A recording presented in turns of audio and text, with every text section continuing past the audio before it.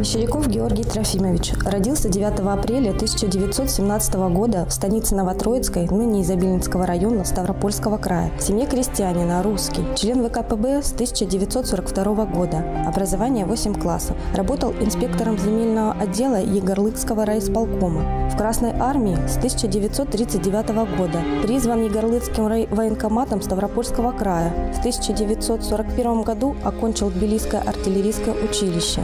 В действующей армии с августа 1941 года. С первых месяцев войны проявил себя как зрелый командир. Участник Сталинградской и Курской битв. Участвовал в боях за освобождение Западной Украины. Командир дивизиона 137-го гвардейского артиллерийского полка, 70-й гвардейской стрелковой дивизии 38-й армии 4-го Украинского фронта. Гвардии майор Мещеряков отличился во время боев за города Львов, Перемышль и на территории Чехословакии. При форсировании реки Апава дивизион первым переправился через реку и своевременно поддержал огнем стрелковые подразделения, что решило исход боя за плацдарм погиб в бою 2 мая 1945 года при взятии города Моравска-Острова.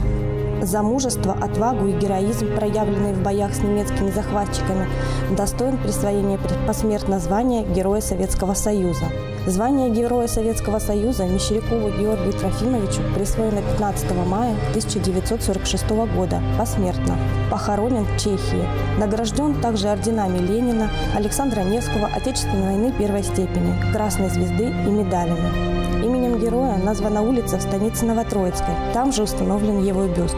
В 2016 году по инициативе регионального отделения Российского военно-исторического общества в Ставропольском крае на здании средней школы номер 14 именем Георгия Трофимовича Мещерякова из Обильницкого муниципального района Ставропольского края станицы Новотроицкой была установлена мемориальная доска Героя Советского Союза Георгию Трофимовичу Мещерякову.